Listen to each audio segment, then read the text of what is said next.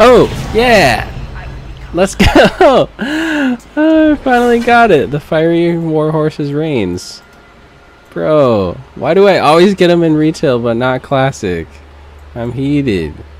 We got midnight. What the? now we need to get it in classic. Dang, dude. why does it always happen in Dragonflight? I've gotten like every single mountain first try in Dragonflight, but cannot get it whatsoever.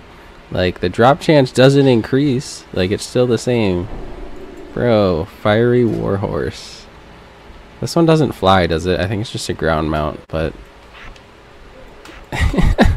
Let's go. What the Got the achievement and everything.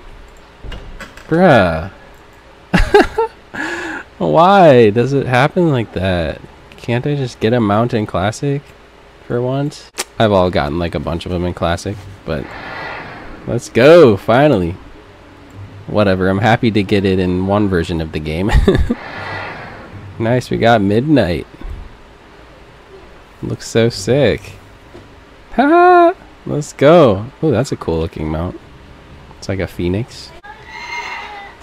Let's go. It looks so sick. He has like fangs too, I notice. Should we go try it in classic right now? It's reset day, so I'm doing all my um my mount runs. I like those little skulls he has hanging off of him too.